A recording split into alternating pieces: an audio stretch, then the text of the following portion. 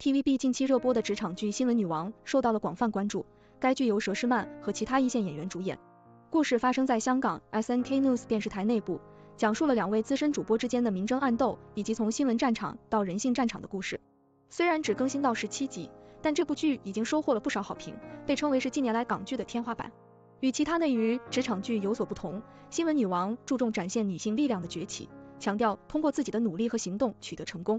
该剧主打一个典型的 ENTJ 指挥官型人格的 Man 姐角色，她展现了出色的业务能力和硬朗的气场，成为了当之无愧的新闻女王。除了专业能力过硬外，Man 姐在职场拳斗中也表现出手段狠、随机应变的特点，使她成为了一个备受观众喜爱的复杂而有魅力的大女主。此外，她的穿衣风格也备受瞩目，常常身着西装，凸显出强势气场，给人留下了深刻印象。